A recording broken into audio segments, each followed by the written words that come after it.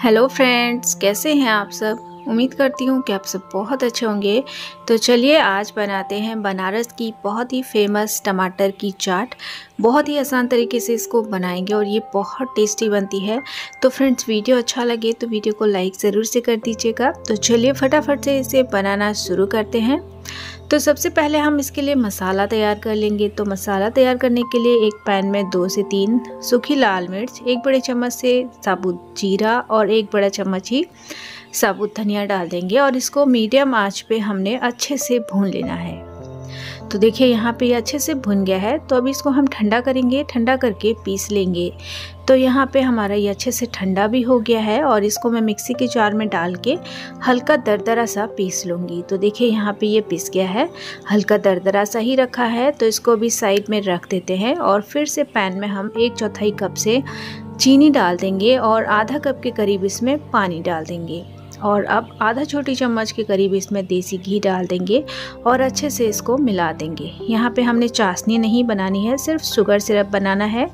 हल्का सा चिपचिपा मतलब चीनी को पानी में अच्छे से बॉईल कर लेना है। तो इसके बाद मैंने यहाँ पे थोड़ा सा गरम मसाला, आधा चम्मच काला नमक, एक छोटी चम्मच से कश्मीरी लाल मिर्च का डाला है और जो भुना हुआ धनिया जीरा का पाउडर बनाया था, एक चम्मच वो डाल दिया। अब यहाँ पे एक बड़े चम्मच से आमचूर पाउडर डाल दिया है। अच्छे से इसको मिला देंगे और बस एक मिनट के लिए इसको और पकाएँगे। तो यहाँ पे हमारी शुगर सिरप देखिए बन के तैयार हो गई है।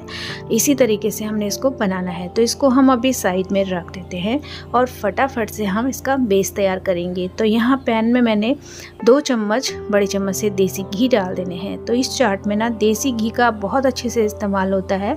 तो घी में ही बनता है और अच्छे क्वांटिटी में घी इसमें यूज़ होता है। तो आप, वैसे तो आप अपने हिसाब से डाल सकते हैं, कम ज़्यादा अपने हिसाब से आप बना सकते हैं, लेकिन घी अच्छे से पड़ता है इसमें। इसमें।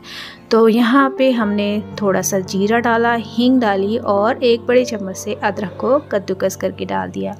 अदरक को थोड़ा सा हम भून लेते हैं।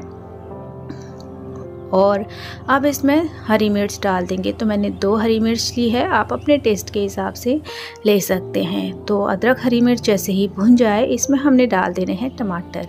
तो मैंने यहाँ पे चार टमाटर लिए हैं बड़े साइज़ के। अच्छे पके हुए लाल टमाटर ले लिए हैं और इसको हमने घी में अच्छे से फ्राई करना है। मतलब कि इसको दो मिनट के लिए तेज़ आँच पे ही पका लेना है ताकि टमाटर में घी का फ्लेवर अच्छे से आ जाए। तो अब दो मिनट के लिए मैंने इसको ढक के अच्छे से पका लिया है। अब एक बार बढ़िया से इसको मिला देंगे। अब यहाँ पे इसमें नमक डाल देते हैं। तो एक छोटी चम्मच यहाँ पे सफ़ेद नमक डाल दिया है और आधा चम्मच यहाँ पे काला नमक डाला है। साथ ही आधा चम्मच लाल मिर्च या फिर अपने टेस्ट के हिसाब से आप डाल सकते हैं। और थोड़ा सा यहाँ पे हल्दी पाउडर भी डाल दिया है और एक छोटी चम्मच से कश्मीरी लाल मिर्च का डाल दिया है। अब धनिया जीरा का जो पाउडर बना के रखा था, वो यहाँ पे दो चम्मच से भर के मैंने डाल दिया है और अच्छे से इसको हमने मिक्स कर देना है। तो यहाँ पे अच्छे से सारी चीज़ें मिक्स हो गई है। ढक के इसको दो तीन मिनट के लिए और पका लेंगे। तो यहाँ पे देखिए, दो तीन मिनट के लिए मैंने इसको ढक के अच्छे से पका लिया है। टमाटर हमारे बहुत अच्छे से गल गए हैं। तो अब इसमें हम डाल देते हैं उबले हुए तीन आलू, जिसको कि मोटा मोटा ही तोड़ना है इस तरीके से। और अच्छे से इसको भी हम टमाटर के साथ बढ़िया से मिला देंगे। बहुत ही टेस्टी चाट बन के तैयार होती है और बनाने में तो बिल्कुल ही आसान है और घर की चीज़ों से ही ये बन के तैयार भी हो जाती है फटाफट से। तो यहाँ पे दो चम्मच से मैंने मटर डाली है उबली हुई। उसी के साथ मैंने यहाँ पे एक से डेढ़ चम्मच डाल दिया है चाट मसाला।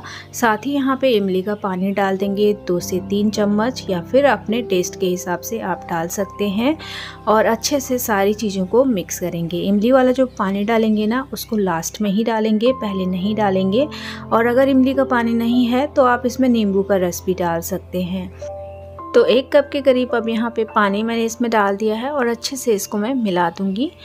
तो यहाँ पे मटर डालना ऑप्शनल है। मैंने यहाँ पे मटर डाली है थोड़ी सी वैसे इसमें मटर नहीं पड़ती है तो आप चाहे तो डालिए, नहीं तो मटर को स्किप कर सकते हैं। तो अच्छे से ये देखिए मिक्स कर दिया है। अब थोड़ा सा हरा धनिया डाल दिया है। अब ढक के इसको पाँच से सात मिनट के लिए अच्छे से पका लेंगे। तो यहाँ पर पाँच सात मिनट के लिए देखिए, अच्छे से मैंने इसको पका लिया है। बहुत ही बढ़िया से ये बन तैयार हो गई है और बहुत ही बढ़िया देखने में लग रही है और टेस्टी भी है। इतनी ही ज़्यादा बनती है। तो थोड़ा सा ऊपर से और हरा धनिया इसमें डाल देंगे और ये हमारा टमाटर की चाट बन के यहाँ पर तैयार हो गई है और ऊपर से मैंने थोड़े से फ्राई किए हुए काजू और बादाम डाल दिए तो अब यहाँ पे हम इसको इस तरीके से सर्व कर रहे हैं। पहले मैंने थोड़ा सा यहाँ पे चाट वाला जो बेस है, वो डाल दिया है। इसी के साथ हम डाल देंगे एक से दो चम्मच शुगर सिरप एक चम्मच से इसमें डाल देंगे घी, देसी घी डालेंगे। साथ ही थोड़े से यहाँ पे मैंने फ्राई किए हुए काजू डाल दिए हैं, थोड़ी सी सेव डाल दी है। थोड़ा सा बारीक कटा हुआ प्याज डाल सकते हैं और खूब सारा बारीक कटा हुआ हरा धनिया डाल दीजिए। तो ये हमारी बहुत ही टेस्टी सी टमाटर की चाट बन के तैयार हो गई है। तो मैंने इसे इस तरीके से सर्व किया है। आप चाहे तो इसको इसके ऊपर थोड़ी सी मठरी डाल सकते हैं, पापड़ी डाल सकते हैं चूर के तो आप अपने हिसाब से इसे कैसे भी सर्व कर सकते हैं। तो बहुत ही टेस्टी टमाटर की चाट बन के तैयार हुई है और वो भी बहुत ही कम चीज़ों के साथ और झटपट से बन के ये तैयार हो जाती है। तो ज़रूर से आप इसे ट्राई कीजिएगा और वीडियो अच्छा लगा हो तो प्लीज़ वीडियो को लाइक ज़रूर से कर दीजिएगा। चैनल पर आप नए हैं तो चैनल को सब्सक्राइब करना बिल्कुल मत भूलिएगा और साथ के साथ रेसिपी को भी ज़रूर से शेयर कर दीजिएगा। तो चलिए फिर मिलते हैं किसी और रेसिपी के साथ, तब तक के लिए बाय और वीडियो देखने के लिए बहुत बहुत धन्यवाद।